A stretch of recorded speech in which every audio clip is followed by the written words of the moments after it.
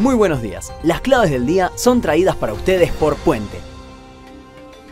El índice S&P Merval avanzó 0,9% en la rueda de ayer, revirtiendo el resultado negativo de las últimas dos jornadas, mientras que el índice medido en dólares marcó 0,6% ante el incremento en el tipo de cambio implícito en bonos, que fue de 0,3%. El panel líder mostró comportamientos positivos generalizados, sobresaliendo los sectores de servicios de comunicación y materiales básicos, con 3% y 1,7% respectivamente. El Fondo Monetario Internacional reveló en la actualización del informe de perspectiva económicas globales de abril, que espera para Argentina una contracción de la actividad económica del 2,8% en 2024, con una inflación del 149,4% a fines de año.